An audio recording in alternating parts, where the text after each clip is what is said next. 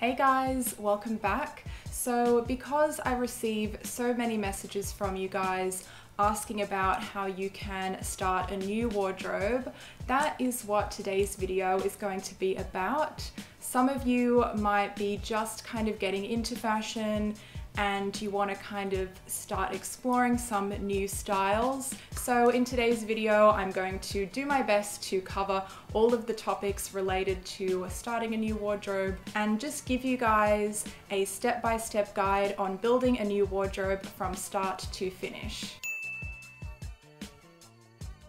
The first step is something that you need to do before you even embark on your journey of starting a new wardrobe, and that is why it doesn't really count as an actual step yet. It's something that you have to realize before you even begin. If you're having any thoughts that you can't wear a certain clothing style because of your body type, or maybe you just think you're not confident enough or you can't pull it off, do your absolute best to try and abandon these thoughts right now. I know you're thinking, well, easier said than done, but trust me, I have been through those thoughts so many times myself. I still have them occasionally to this day, and you just need to realize that life is too short to not wear the clothes that you want to wear and try out the styles that you want to try because in the grand scheme of life, it really just doesn't matter. You don't want to look back and think, dang, I wish I had worn that crazy vintage head to toe pastel outfit that I really wanted to wear. It's not an overnight fix and it does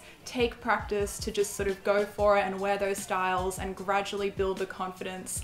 It really is just mind over matter and I think I'm just trying to give you this little pep talk to try and speed up the process a little bit.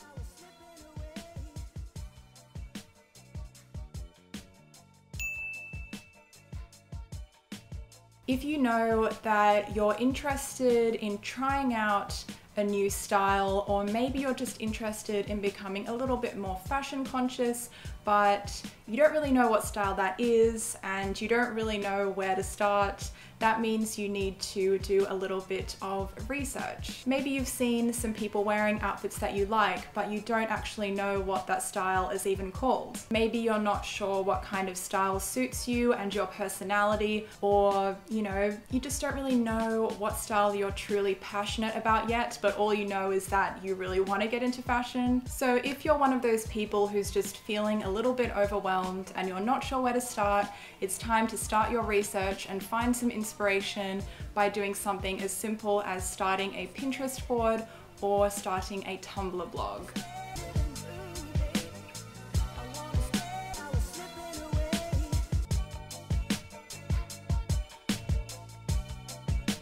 Honestly, when you hear tips like just get a Pinterest, even that is overwhelming because the internet is so highly saturated with so much fashion and so many different types of fashion and so many different like sub-genres of fashion and all that kind of stuff. So just start with something as simple as searching for one kind of clothing item that you like.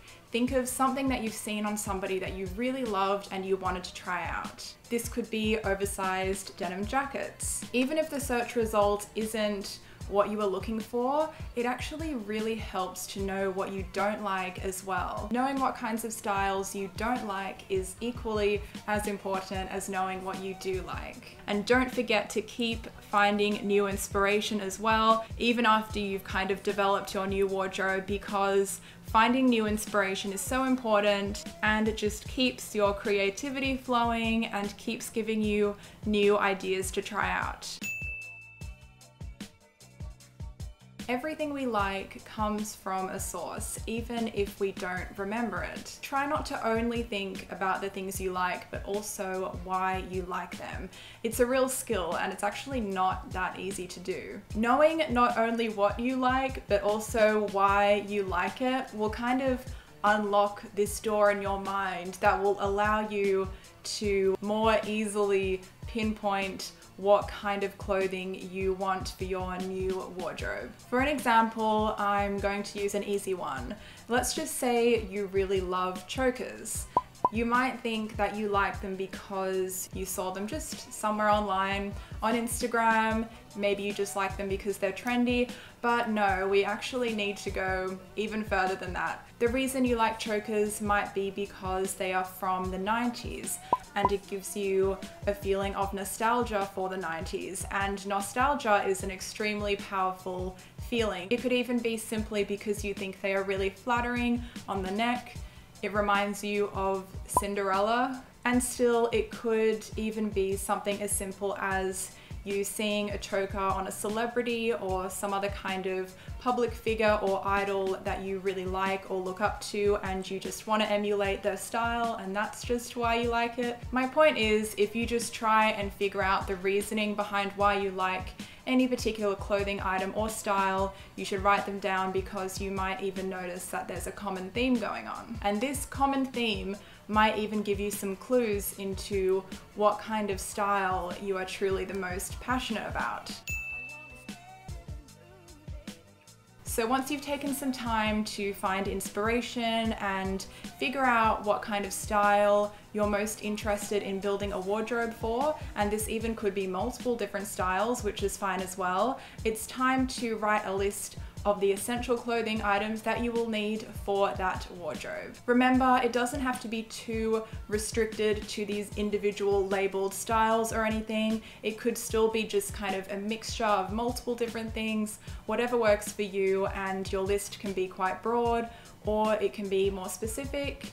It doesn't have to be anything too strict. A great way to start is to look at the inspiration images that you have gathered and try and note any particular clothing items that are common throughout. For example, if you are really into a kind of preppy look, maybe some key items that you spot in your images could be a really nice tailored blazer, a button-up collared shirt or maybe a high-waisted A-line skirt. But remember that you want to start with the more basic and most wearable items that you think you will wear on a day-to-day -day basis and then gradually work your way into the seasonal items or the more kind of special occasion items that you wouldn't wear all the time, such as a winter coat, or even maybe some items that are a little bit more outside of your comfort zone and you're not quite sure if you are ready to try those yet. You don't have to think of all of your ideas at once.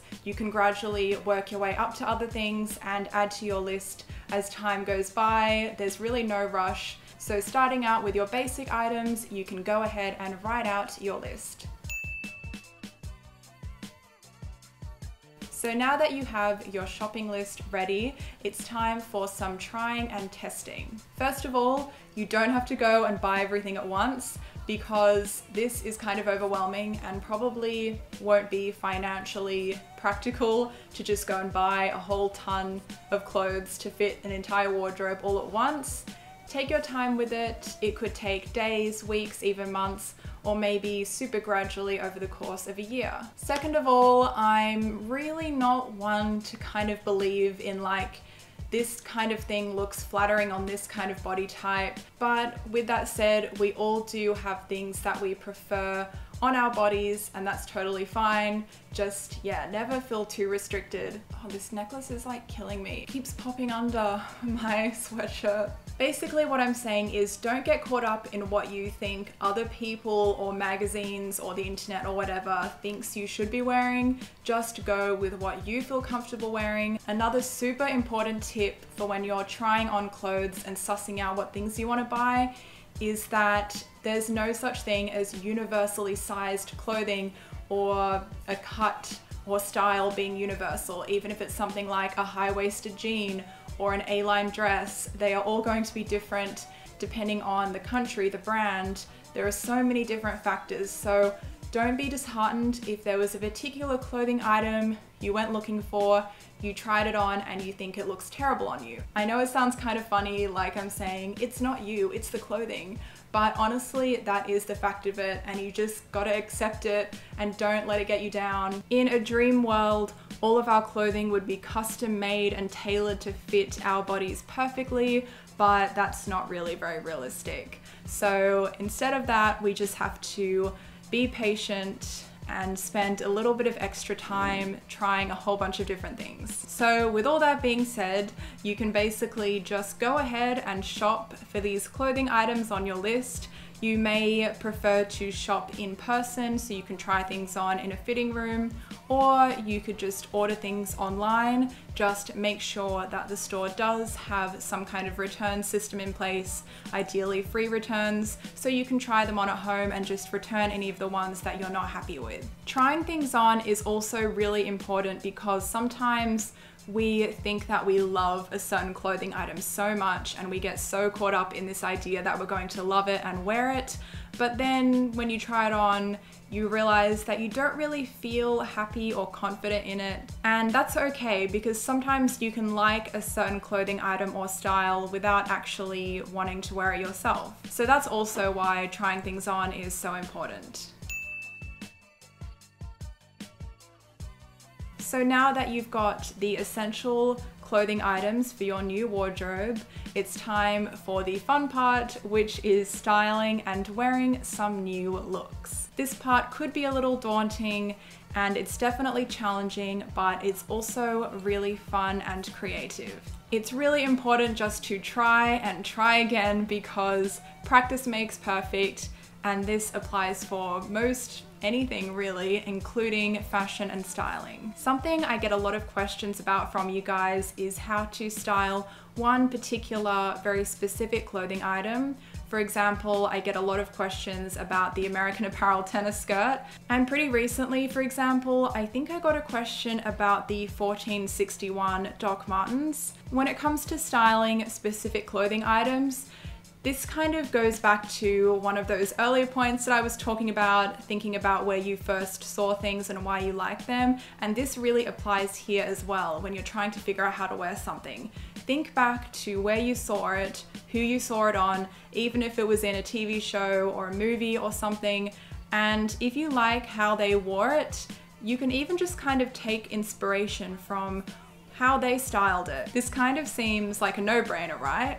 And like with the American Apparel tennis skirt, which I get so many styling questions about, you guys are probably asking me about it because you saw me wearing it. So maybe go back to those videos or photos that you saw me wearing the skirt in and that should kind of give you your answer on a way that you could possibly style it. You might already have the answer to your styling questions. You just don't really realize it yet. So yeah, that's why it's so important to really dig deep into where you first saw something, who you saw wearing it, and why you liked how it looked on them. And just in case you might be thinking, oh, but isn't that kind of like copying somebody? Is that okay? And in regards to that topic, it's a massive topic, the idea of copying versus taking inspiration. And I'm just, I, I, don't have time to go off on that tangent in this video. But long story short, I think it's just something to be cautious of because if you do tend to kind of copy people from head to toe in terms of styling too directly, too often, it can hinder your ability to style things yourself. So simply just be mindful of where you get your ideas and how directly you either copy or take inspiration from things. You know, you don't need to really beat yourself up about it or like take it too seriously because you know, at the end of the day, no one's really that original anyway, so you know what I mean? So yeah, do whatever you have to do to truly develop your own styling skills and ability to come up with an outfit without having to look to somebody else for ideas. So think about those ideas you have for styling any particular pieces and create those outfits yourself with the items in your wardrobe and then even try snapping a photo with it on your phone so you can remember for when you want to actually wear it. When you're starting out with your new wardrobe or new style, it can be really helpful to have some pre-planned outfits because when it comes to the day that you're like, okay, I'm going to try out this new look, it can be a little bit daunting and overwhelming trying to put it together on the day, but if you have that peace of mind that you have your ideas planned and ready, you can just whip out your phone, look at those photos of the outfits that you took and you're like, yes, I'm gonna wear that one today. It's so fun to try out new styles and to debut a new clothing item that you haven't worn yet. So just try whatever you want, try wearing it in whatever way you think. There's no right or wrong way to style things. And honestly, the best way to learn is to just go for it and wear it. And if something doesn't work out for you on one day, there's always tomorrow so you can try again. So at this stage, you should have successfully kicked off your new wardrobe. If you guys have any further questions about building a new wardrobe, feel free to leave them in the comments below and I will do my best to answer them. Also be sure to give me a thumbs up on this video to let me know if you found this video helpful because if you guys did find it useful I will definitely be sure to make more kinds of videos like this in the future. And as I'm sure many of you would already know I do answer a ton of styling related questions and all other types of questions over on my Tumblr which I will insert here somewhere. It will also be linked below in the description box. So if you have a particular lengthy or kind of a trickier question for me to tackle, definitely head over to my Tumblr and ask it there because that's where I am able to give much kind of longer and in-depth answers as I don't really tend to put really lengthy answers in the YouTube comments. And that about finally concludes this video. Thank you guys so much for watching and hanging out with me and I will see you all in my next one.